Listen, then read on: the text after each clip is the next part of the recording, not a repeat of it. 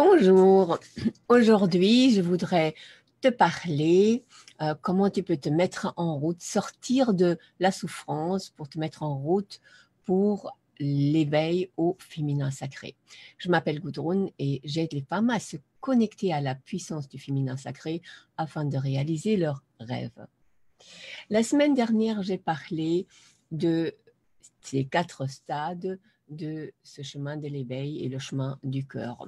Donc aujourd'hui, je vais consacrer euh, cette vidéo au premier stade, celui-là où il y a le plus de souffrance et le plus de mal-être, voire des maladies.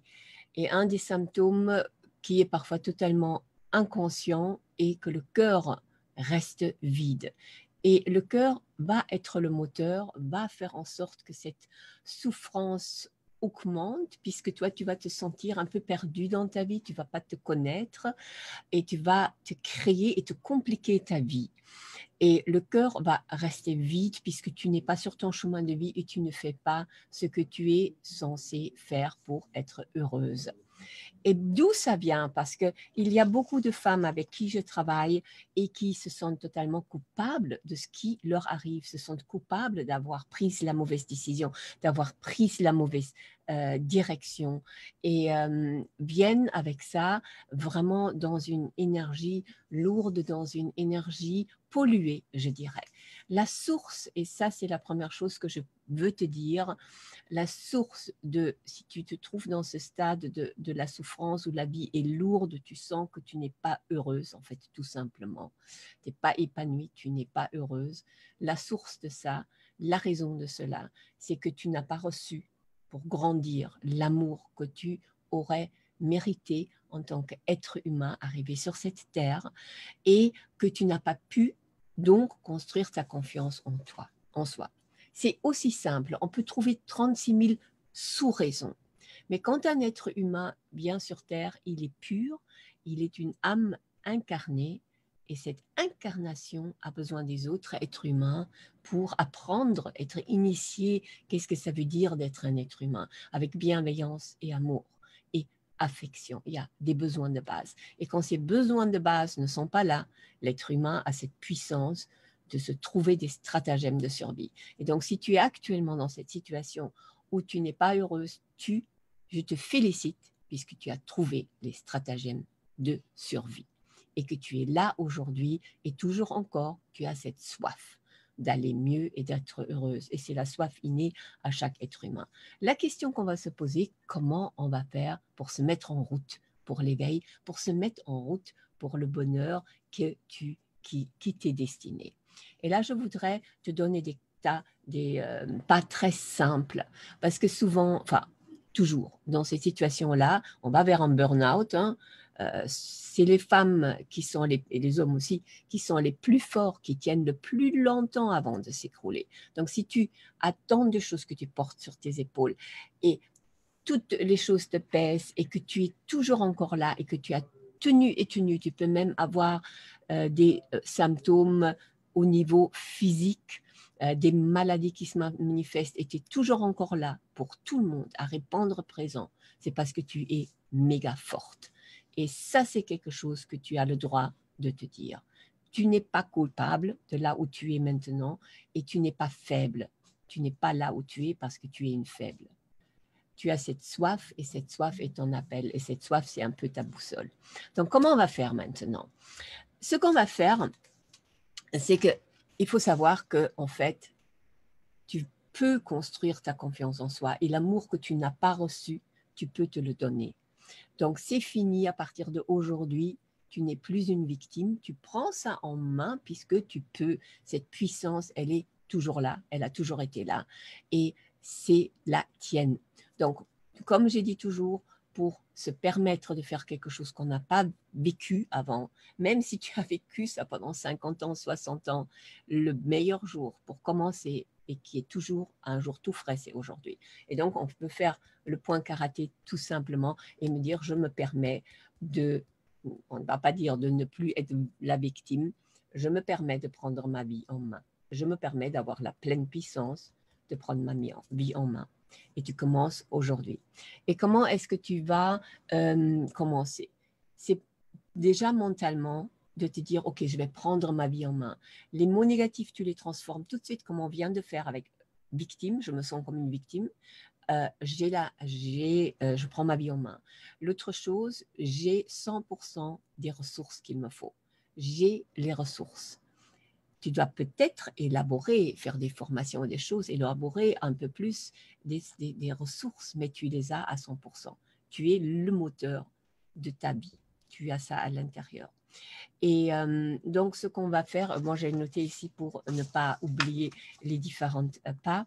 Donc, ce qu'il faut faire euh, dans ce premier stade où tu es peut-être même vraiment à plat, où tu ne sens pas bien et tu te sens comme la victime. La victime de tes propres actes, la victime aussi de ce qu'on t'a fait, la victime de ce qui t'est arrivé dans la vie. Tu te sens impuissante, tu te sens vidée. Et donc, ce qu'il faut faire, c'est avoir de l'aide la première chose, c'est avoir de l'aide. Mais au lieu de te sentir victime, tu vas te dire, OK, je n'ai pas reçu au départ l'amour et euh, l'affection et tout ce, qui, ce dont j'aurais vraiment eu besoin, tout naturellement, comme chaque être humain. Maintenant, je vais commencer à me le donner à moi-même. Je vais me faire du bien. Je me permets de me faire du bien. Je prends, je fais de l'espace pour ça. Même si cet espace, c'est cinq minutes par jour, mais ça m'appartient c'est mon pouvoir et je me l'octroie. Ça, ça c'est quelque chose avec quoi tu peux commencer. Moi, je dis toujours, même quand je donne mes cours de danse, commence tout petit. Commence avec quelque chose de facile. Et donc, euh, ça, ça c'est ton état d'esprit. Tu vas te faire une place, vraiment tout ce qui, qui demande un effort, mais pas un gigantesque effort. Si tu te demandes des gigantesques efforts, tu ne vas tout de suite pas y arriver. Ton inconscient va dire non, un truc en trop, un truc en plus, je peux tout simplement pas. Donc, un petit effort, cinq minutes par jour, quelque chose du genre. Et donc, ce que tu vas faire pour euh, trouver les, euh, pour pouvoir les différents niveaux de ton bien-être, de ce chemin pour aller mieux. Tu peux faire beaucoup de choses différentes. Donc, tu peux commencer ou faire même les choses en parallèle, ok? Euh, Tu peux regarder au niveau de la nourriture. Et là encore, si ta vie est stressante, si la vie est totalement remplie avec plein de choses que tu ne maîtrises pas, comme par exemple tes horaires de travail, l'ambiance au travail, euh, ta famille, les enfants, l'ambiance dans la famille, ça ne t'appartient pas de dire je veux que c'est une telle euh, ambiance, c'est toute la, communauté qu'il a construit. Donc, euh, quand ta vie, elle est très remplie, si tu fais quelque chose au niveau de la nourriture, tu pourrais commencer à faire des grands plans. je dois manger bio, je dois manger cru, euh, je dois manger autant de légumes. Et tu n'as simplement pas la force de commencer à faire ça ou tu n'as pas le budget. Donc, ce que tu peux faire à ce moment-là, simplement complémenter, prendre des bons compléments alimentaires. Moi, je recommande et je prends moi-même les compléments de Life Plus parce que c'est des compléments vibratoires. Ils ont un niveau vibratoire très élevé et non seulement tu as tout ce qu'il te faut, donc, si ça t'intéresse, tu, me contactes. Tout ce qu'il te faut, mais aussi tu augmentes, tu, tu, tu, travailles au niveau vibratoire de ton être. Et euh, ça, c'est une très bonne euh, solution. Tu peux commencer avec ça. Tu complémentes. Tu ne changes rien puisque tu n'en as simplement pas la force. Tu complémentes. Après, nous en parallèle, soin. De, de, de prendre un soin. D'aller chercher quelqu'un qui peut te faire un massage euh, qui, qui, ou des soins énergétiques, quelque chose comme ça qui fait en sorte que simplement tu, passivement, tu te laisses faire, mais pas dans cette attitude, il me faut quelque chose, je m'en peux plus, mais de se dire, je vais me faire du bien et je m'octroie cela. Donc, pas victime, mais prendre en main, me faire du bien. Je le mérite, j'en ai besoin et je, me le octroie. Et donc, chercher quelqu'un. Là encore, ne, ne va pas chercher euh, midi à 15h, c'est ça qu'on dit en français, ne va pas te chercher où me fout la super thérapeute, je vais aller faire 100 km, je vais aller. Il y a autour de toi, je suis sûre, accessible, plein de thérapeutes, enfin thérapeutes ou plein de mm, personnes qui peuvent te faire des massages ou des soins énergétiques, du reiki, cherche et sens un peu. Déjà, exerce-toi à sentir quelle est la bonne personne. Et euh, si tu vas chez une personne et tu ne le sens pas, tu te dis, hmm, hmm, oui, tu donnes peut-être une deuxième chance, mais vraiment, si, si ce n'est pas la même longueur d'onde, tu, tu, tu trouves quelqu'un d'autre. Aussi simple, vraiment simple. Ne te casse pas la tête, ne t'accroche pas. Ton cœur, il sait. Et toi, tu sais aussi. Juste, tu n'es pas au courant, peut-être que tu sais. La troisième chose que tu peux faire, évidemment, c'est bouger. Mais là encore, ne commence pas à t'inscrire à un centre de fitness alors que tu n'as plus rien comme énergie. Tu vas gaspiller ton argent et jamais y aller. Marcher, c'est ce qu'il y a euh, de mieux au début. Tu peux t'acheter un petit podomètre ou ton téléphone, ça tu regardes combien de pas tu fais. Tu peux mesurer, ça c'est parfois bien d'écrire ou encoder ça quelque part pour savoir, tiens, j'ai vraiment fait mes 10 000 pas ou mes 5 000 pas. Euh, si tu ne sais pas du tout euh, même marcher parce que, je ne sais pas, maladie, etc., bouge autrement, respire, apprends des techniques de respiration. Tu as plein de euh, possibilités sur YouTube, des, simples respirations qui font déjà que l'énergie va circuler.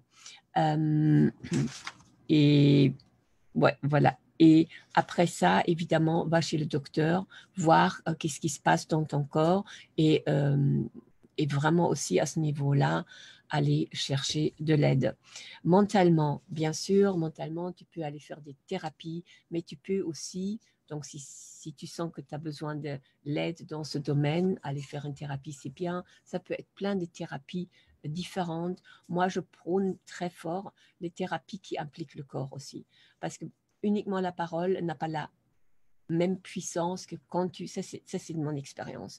J'ai fait des tonnes de thérapie. Quand ça implique ton corps, euh, d'une manière ou d'une autre, ça va plus vite. Euh, et donc, quelque chose comme ça, pour tu couvres ces cinq domaines-là, tous en parallèle avec des petits, petits, petits pas, et tu peux à ce moment-là commencer à sortir la tête de l'eau, ce, ce qui est important pour toi. Mais l'important, c'est d'avoir cette... ne pas rester dans ton coin, mais vraiment te dire, OK, je vais chercher de l'aide parce que là, j'ai besoin de m'en sortir. Et ça peut être même gratuit. Il y a beaucoup de choses qui existent gratuites. Moi, j'ai un rendez-vous que tu peux prendre gratuitement avec moi pendant une demi-heure. C'est un, coaching d'une demi-heure pour euh, te faire un plan et voir euh, où, tu, où tu en es, où tu veux aller et te faire un plan comment y arriver. Donc, il y a, je ne suis pas la seule à le faire, tu peux trouver plein d'aides totalement gratuitement ou des, euh, des, groupes de, sur Facebook où on s'entraide. Donc, voilà, ça ne doit pas être un frein. Euh, les principes pour cette aide Parce que je sais a des femmes qui sont euh, dans cet état-là, souvent, comme je dis, culpabilisées, mais aussi ce sont des femmes qui vraiment euh, sont fortes et, veulent y arriver et vont de nouveau euh, chercher à faire quelque chose d'une manière parfaite, d'une manière forte. Et là, je, on va dire non. Ce qu'on va dire, c'est la facilité. La facilité dans le, dans le sens que si tu vas, par exemple, comme j'ai dit, avec la nourriture, bien, tu pourrais commencer à tout restructurer, ta manière de manger et d'acheter. Non, tu, tu, prends les compléments, tu commences avec ça, ça, ça te coûte rien comme énergie. Le matin, tu te lèves, déjeuner et tu prends un chèque. Et, et, tu fais en sorte de, de choisir les bons compléments et tu as fait quelque chose. Après, quand tu seras dans ta force, tu vas changer ta manière de manger, mais pas peut-être tout de suite. L'autre euh, chose facile pour les soins, comme je t'ai dit, ça doit être pas trop loin, tu dois le sentir. Docteur, la même chose. Faire confiance, savoir faire confiance, bouger, même chose, tu vois.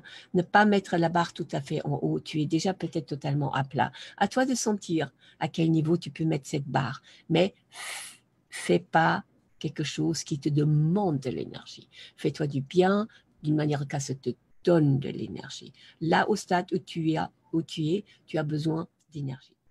Et euh, l'autre qui est important, lieu, l'heure, et donc point de vue lieu et, et, l'heure de, du jour. Donc, tu ne dois pas, euh, si c'est le soir, du genre à 9 h que tu veux faire ce cours, mais à 9 h, tu es déjà complètement crevé. Peut-être il y a un cours qui existe le matin. Donc, tout ça facilite-toi dans la vie et laisse-toi, permets-toi de faire ça au début pour démarrer. Euh, aimer l'ambiance, aimer le professeur si tu prends un cours, si tu vas travailler avec un être humain tout simplement. Et euh, barrer, donc, dernière chose comme conseil, et je pourrais donner 36 000 conseils, mais je vous juste, ça, ce sont mes conseils de démarrage, je dirais, et qui, sont bons à n'importe quel niveau où tu te trouves quand tu veux évoluer. Euh, barrer le mot il faut et je dois. Il faut et je dois, c'est là que tu te fouettes, tu te bats. Et ça, ça vient de cette approche de non-amour que tu as, enfin, que tu as eu à cet endroit-là. Ça vient de cette, cette approche où on se sent, il faut que je dois, où on se bat, où on est nouveau, quelque part l'esclave de, de ce fonctionnement-là. Donc, barrer ces deux mots. Observe-toi. Comment est-ce que tu parles? Quels sont les mots que tu utilises? Est-ce que c'est les mots, tu peux faire deux colonnes et regarder, ça c'est les mots mode victime, c'est les mots mode euh, déesse, reine, mets des, mots forts là-dedans. Comment dirait une déesse? Comment dirait une reine? Euh, Est-ce qu'elle va dire il faut et je dois? Non, elle va dire je décide. Oui, et, et des choses comme ça. Tu peux te faire deux colonnes et vraiment quand tu t'observes, prendre un carnet et vraiment chaque fois transformer ces mots. Voilà, ça c'est mon brin d'inspiration pour ce dimanche, pour, euh, cela dit, pour la semaine. Je te souhaite euh, beaucoup de plaisir avec cela. J'espère que ça t'aide et à la semaine prochaine. Bye bye.